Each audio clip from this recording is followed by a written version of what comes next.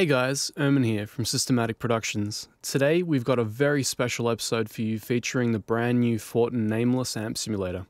In my opinion, this thing is on the cutting edge of amp simulation technology. Nothing else quite reacts or feels or sounds the same as this thing does, and I'm hoping that after this tutorial video, you'll agree. Before we get started, I'd just like to thank my buddy Ola for providing the tracks that we're using for this. They're from the feared record Vinter. You can actually get these stems and raw DIs yourself on Ola's page, which I'll link down below. Before we get started, let's take a listen to what our raw DIs sound like. Heavy as fuck, right? With the plugin on, so the very first thing you want to do is take the oversampling slider straight to high, much like their B7KU plugin. Uh, this will immediately improve the tone, assuming that you've got the CPU power to handle it. Now, if we just listen to what it sounds like with everything flat, it's a little bit thin, a little bit abrasive. We're going to start targeting that in the cab sim section. So we've got an SM57 model set up here. The problem that we're running into is that positionally it's at zero, which means it's direct on with the dust cap. It's the harshest it's ever going to sound. So let's just tweak that to make it a little bit more balanced from the source.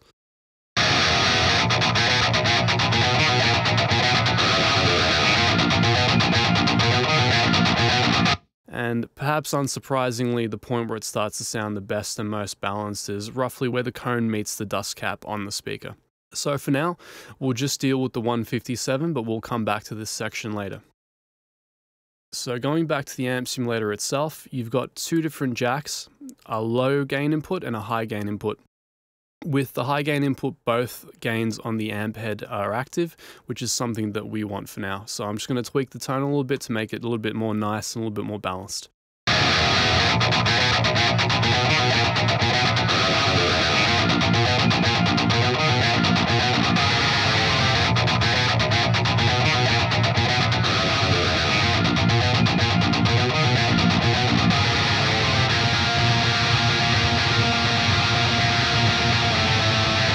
In the stomp box section, we've got the Fortin grind pedal modeled. This is going to help us a lot in tightening up the overall tone and boosting the amp to actually get us that extreme metal sound.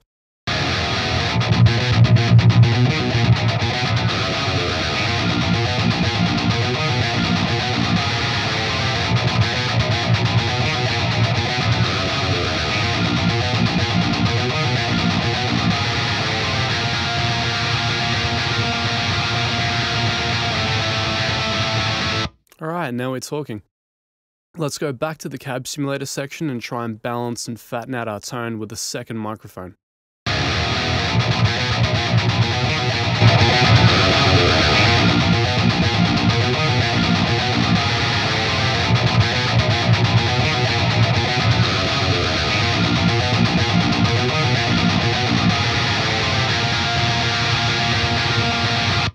Alright, we've got some really good options in there, but I like the Dynamic 906. What I'll tend to do with the second microphone is make sure that it's a fair bit underneath the first. It's just functioning as an auxiliary sound to fill in the gaps, if you will.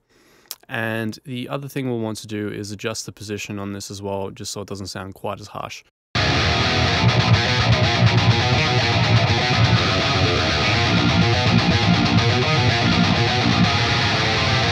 Not bad.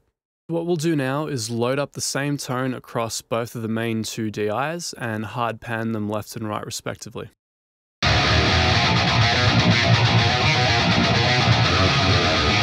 Not half bad. And this is where we bring in our secret weapon. So one thing Ola was nice enough to do is quad track these guitars, which means that our potential tonal palette is opened up almost infinitely. One thing I like to do with quad tracking is use the auxiliary pair in order to create a sound that's a little bit more raw and rough than the main set of guitars. This sort of opens up your ability to create a larger sound and blend in just as much of it as you need. So in this case, I have no grind pedal engaged at all. And consequently, I've got the gains on the amp pretty high up in order to compensate for that. Treble and presence are also a fair bit higher just to fill in that sizzly stuff that I don't really want so much on the mains.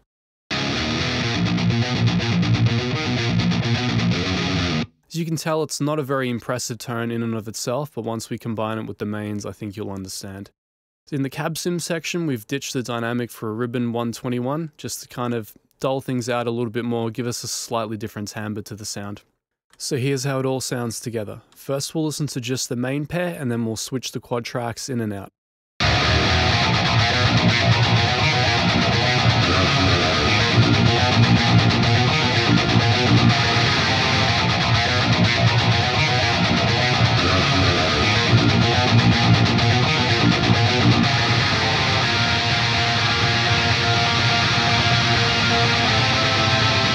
As you can hear, the quad tracks enhance the sense of fullness immensely.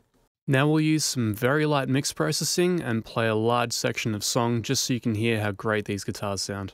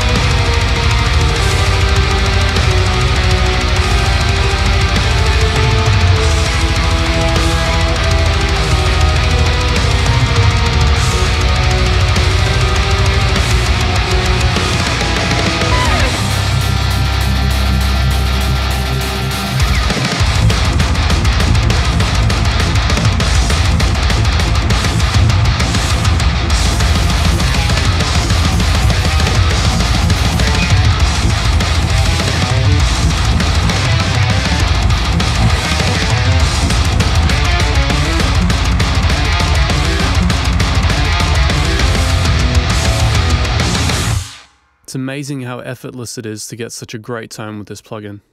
I hope you enjoyed the short tutorial. Big thank you to Neural DSP for providing the plugin. If you like the sound of the plugin, make sure to pre-order it on their channel.